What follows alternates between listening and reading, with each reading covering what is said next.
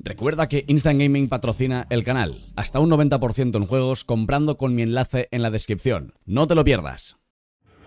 Bueno gente, bienvenidos un día más al canal. Hoy estamos de vuelta en Battlefield 2042 para hablar de un tema que a todos os concierne, el meta. Desde la pasada actualización de la temporada 5, DICE ha cambiado ciertas cosas e incorporado nuevas armas que alteran el meta que ya había. En este vídeo os voy a decir qué armas son las mejores opciones y cuáles ya no lo son. El cambio más evidente es la dispersión de los rifles de asalto, que ahora tienen un 20% más de dispersión cuando hacemos un full auto sostenido con ellos. A esto le sumas que los rifles de asalto que venían de Battlefield Portal han recogido algunos accesorios de All Out Warfare y algunas han pasado de ser armas olvidables a ser de las mejores del juego, por no que estas armas no se han visto tan afectadas por el cambio de la dispersión, ya que la tenían de serie, mucho más que los rifles base del juego All Out Warfare. Por lo tanto, algunas de ellas ahora mismo son opciones competitivas que plantan cara a las que antes eran las mejores del juego. Un gran ejemplo es el ACWR, que combinando el silenciador cubierto, mira holo, láser STNR y el cargador de 41 balas, se convierte en una de las mejores opciones como rifle de asalto. Con estos accesorios tiene muy poca dispersión, un retroceso muy controlable y una relación daño-cadencia adecuados. Os recomiendo encarecidamente que la probéis. Es muy divertida de usar, además que muchos de vosotros seguramente no tengáis el arma subida, probada o os olvidasteis rápido de ella. Entonces es un buen momento para que retoméis vuestra relación con el ACWR porque os aseguro que os va a gustar. Otro ejemplo de las de Portal podrían ser la M16A3 o la MTAR para ir a corta distancia debido a su cadencia, pero ninguna de ellas va tan bien como la ACWR, por lo menos desde mi experiencia usándolas. Ahora que estamos en la categoría de rifles de asalto, continuemos en ella. La nueva GW46 que viene a ser la G36C de toda la vida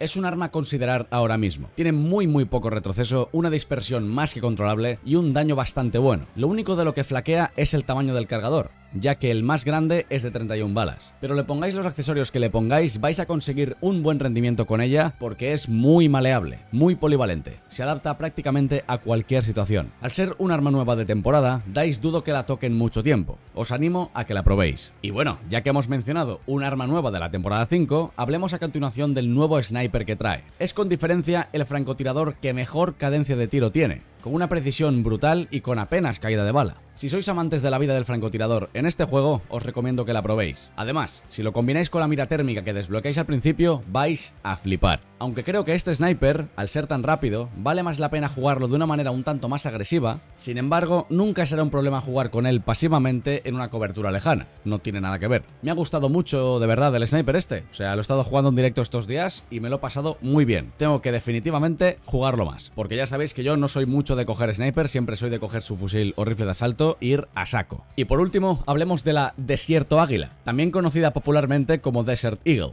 Aquí la cosa tiene gracia porque la G57 es una pistola que abruma los servidores con facilidad, pero ahora tiene competencia. Me atrevería a decir que la nueva Desert Eagle es la segunda mejor pistola del juego. No tiene las 36 balas del cargador de la G57 ni tampoco un modo ráfaga tan bestial, pero de aquí poco la G57 se verá nerfeada. Ya le va tocando y DICE ya lo confirmó. La Deagle mata de un tiro a la cabeza o de dos al pecho de cerca. Luego, el tiro a la cabeza dejará muy tocado al enemigo, creo que le hacéis entre 85, 80 y 96 de daño a la cabeza, si está un poco lejos, pero los dos tiros al pecho se mantienen hasta una distancia considerable. Yo diría que hasta los 20-30 metros matáis de dos tiros al pecho. Cuando nerfeen la G57 puede que se convierta en la mejor pistola del juego, además de tener ese skill canon extra de los tiros a la cabeza que matáis de una bala de cerca. A corta distancia podéis hacer hasta 75 de daño en el pecho. Es una barbaridad, es como disparar con un sniper de cerca. Y la cadencia que tiene es más que suficiente. La única pata de que cojea es el retroceso vertical aunque algo tiene que frenar su potencial, que me parece bien. La Desert Eagle de este juego es como coger un DMR en tamaño pistola y con 8 balas en el cargador. De verdad, cuando la desbloqueéis en el pase de batalla,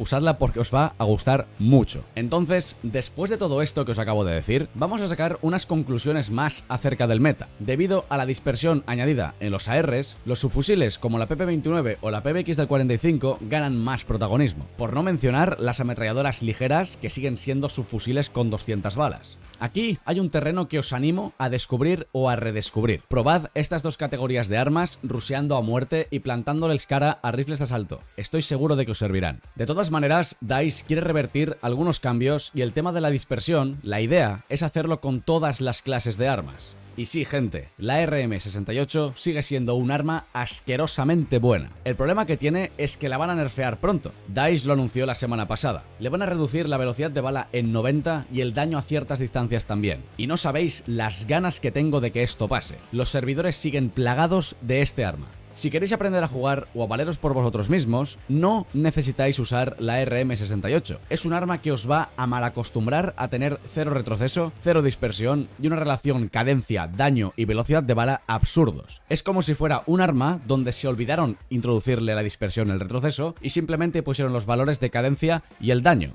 Así de sencillo. Usad la CWR en su lugar y reventad a los tontos que utilizan este arma. Os sentiréis mucho mejor. De todas formas, aunque estas medidas tomadas sean buenas, siguen habiendo mecánicas dentro del juego estúpidas, como el lanzaexplosivos SPH, que yo lo nerfearía de primeras o lo quitaba del juego porque es que no aporta nada. Lo único que hace es que la gente se cabree. Si no, decidme la verdad en la caja de los comentarios a ver qué pensáis. A veces las partidas de avance son como un puro spameo de explosivos antes que una experiencia Battlefield al uso. Y el supuesto nerfeo de las Trophy de Irish no me sabe a mucho ya que sigue parando todo lo que pasa por encima. Y lo preocupante no es que pare los explosivos, que es lo que molestan, sino las granadas de humo, que sirven para darle la vuelta al equipo para hacer flanqueos. Yo creo que las granadas de humo deberían de poderse utilizar siempre. Todos estos cambios desconozco si son a raíz de lo que les decimos nosotros o porque les apetece hacerlos, ya que han querido cambiar cosas que no se les ha pedido como la dispersión, pero de repente tener fean la RM68 después de estar cuatro meses pidiéndolo. Actúan de una manera un poco extraña, intentan escuchar a la comunidad pero no sé si de la forma adecuada. Lo que dijeron acerca de escuchar más a los jugadores casual que a los jugadores top es algo que me sigue pareciendo una estupidez.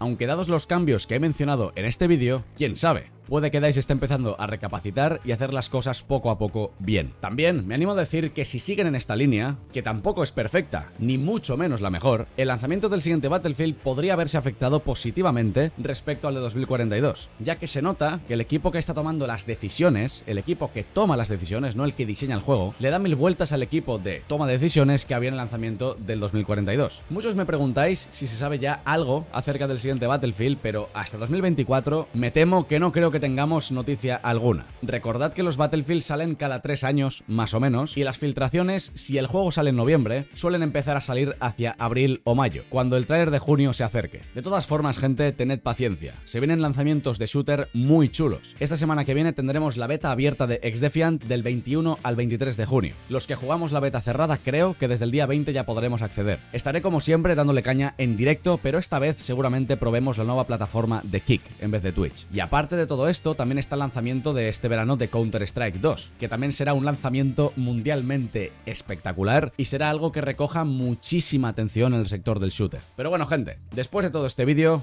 espero que penséis un poquito más lo que utilizar en Battlefield 2042, espero que os haya servido y además quiero que valoréis la opción de poder probar tanto el Ex-Defiant como el Counter-Strike 2 porque son shooters que os van a gustar. Ahora sí que sí, recuerda dejar un like si te ha gustado el vídeo, suscríbete y activa la campanita que es gratis. Que tengáis un muy buen día y nos vemos en la próxima.